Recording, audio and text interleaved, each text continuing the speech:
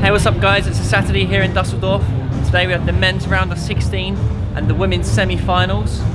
So in the men's first matches coming up here, we have Harimoto versus Pistej in great form and Fan Zhendong versus Germany's Ruwen Filus. So some great matches coming up. I just clipped the net. Coach Wang Hao leading Fan Zhendong. Ruins took a seat. Oh. Nine up, can he take a set? Oh. Very interesting there. Tactical change going wide to the forehand of Harimoto. Making it awkward. Harimoto wins over Pistej. World's youngest ever player to reach the quarterfinals. Mr. backstage here after watching Harimoto. Once again, as soon as Harimoto won, everyone's running into the press area get a snapshot, quick interview of the main man, I should I say main boy. Phenomenal player, causing a huge spark around the table tennis community.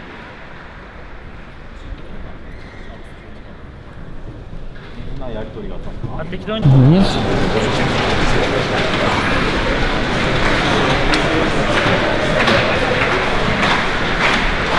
the end, I tried to play better tactically, but uh, it was too late and yeah. you've had a good run this tournament, you played very well. Um, obviously he's only 13 and what makes it difficult playing against him? He's only 13, how has he already acquired the skills to, to beat someone of your level?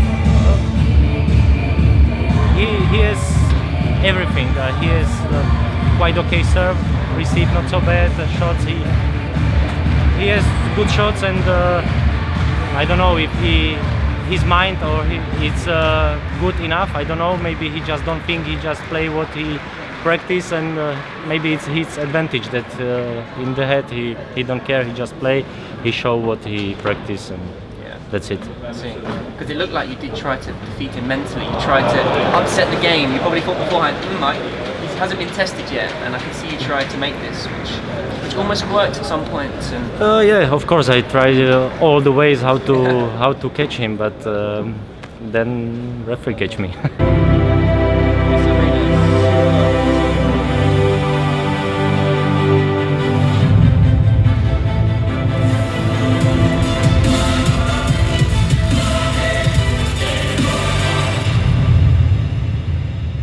huge match here, the women's singles semi-final.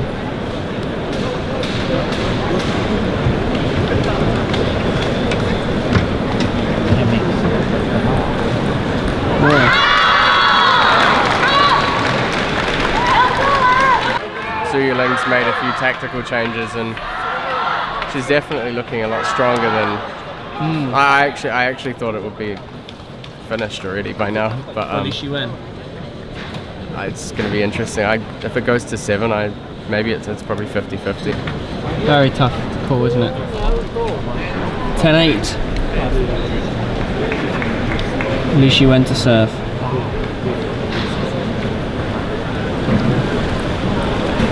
Oh.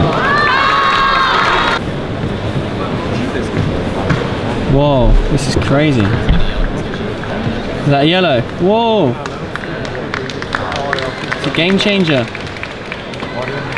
Umpire not happy with that at all. 9-10. These players will do anything to win. Oof. Oof. Look at the edge. Brutal scene. I'm sorry guys, but I missed that rally, but it was world class. All we get is the, uh, oh, actually, slow motion here on TV. Fantastic. Unbelievable stuff. As Matt Hetherington says, it'll be point of the day. Check out on ITTF. Boom. Calling it day six, point of the day. It looks like Liu Shiwen's trying more now, though. It does look a bit more. There it is. die Nummer 3 der Welt, die Nummer 2. Zhu Yuling steht morgen um 13.30 Uhr. I'm gonna try and get down there, take a closer. All the volunteers and officials who make this event possible. Wow. Xu Xin and Fan Zhendong are through after clipping the net.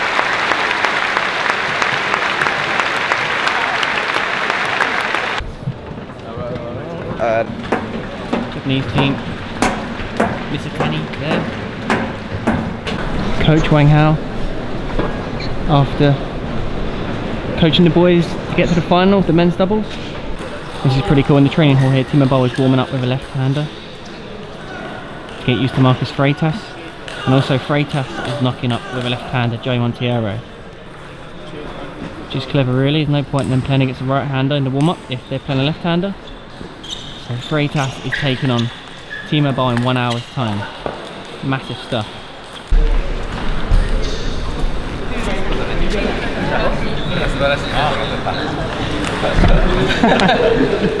well done. You're looking forward to Timo Boll versus Marcos Freitas today. I like Timo Boll. He's very old now, but he is still good. Yeah. What will the score be? Uh, I don't know. I think I love Timo Boll, but I think he would lose. Really? Yeah. Wow, but- yeah. It would be cool if he win. Marcos Freitas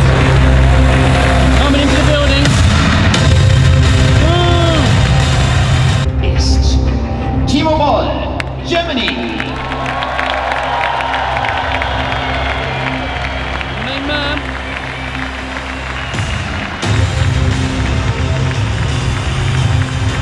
This is massive stuff. I have a feeling, I'm going to predict it, I think we're going to see seven sets here. Full seven sets, which will make this arena go absolutely insane. That's what I hope anyway.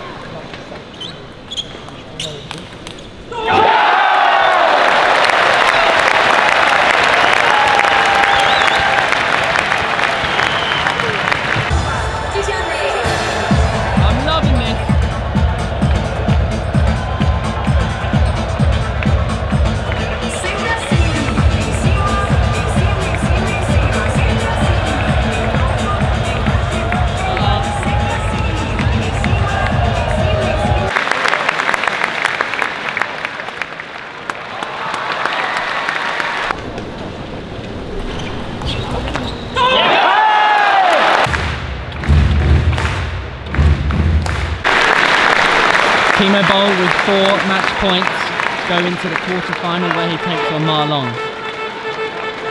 Crowd are going to erupt. Boll takes this.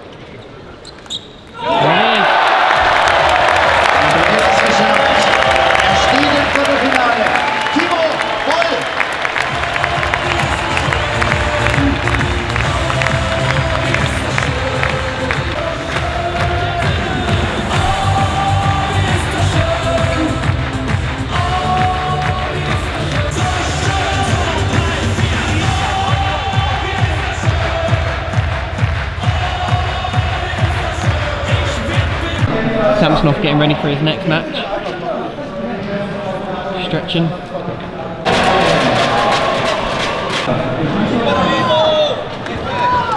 There's the main man.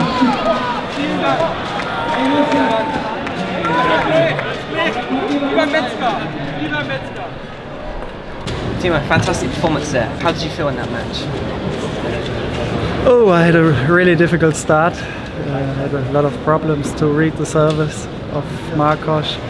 Couldn't play it short, and I had also not the rhythm to, to play the, the long receives, uh, the first topspin, topspins back on the table. And uh, so I said to myself in the second set, just long, wait for the topspin and just put it on the table and start start moving, start trying, and I think this was a quite good idea because I improved and improved, and he made also afterwards some some mistakes on that, and then I was in the game. Yeah, I mean that's interesting that you found a way to, try and come back by changing the game, pushing long.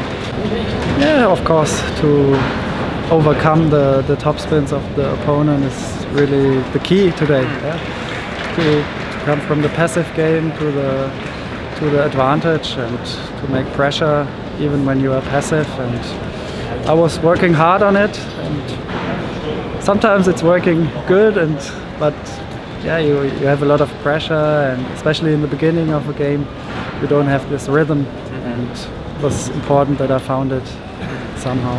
What does it feel like playing in front of such an incredible atmosphere here in Germany? So many fans cheering your name.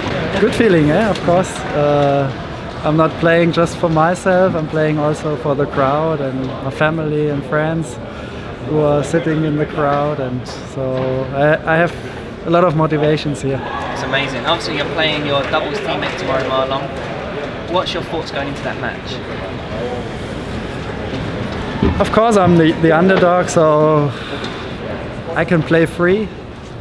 I played the whole tournament quite quite free. I was relaxed, not too, too stiff and not too over motivated. So I just try to risk a little bit more to to give him some pressure, and I try to make the right decisions. I have to play really a lot of different things against him just on one place won't be enough so he's the master and he has no weak points so it's quite quite tough to play him but I will try and try to use my little chances From a psychological point of view, you go into the game 100% believing you can win?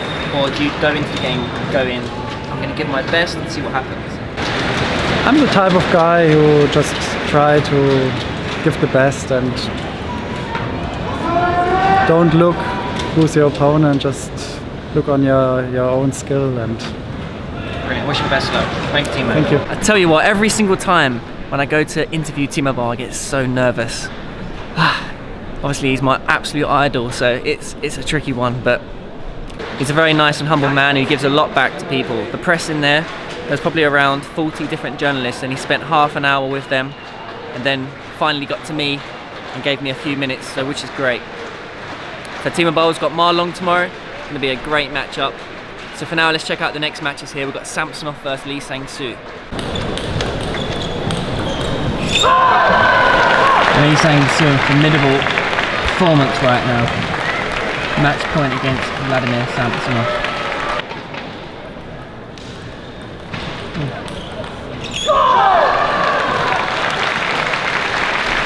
Lee Sang-soo's through to the quarterfinals.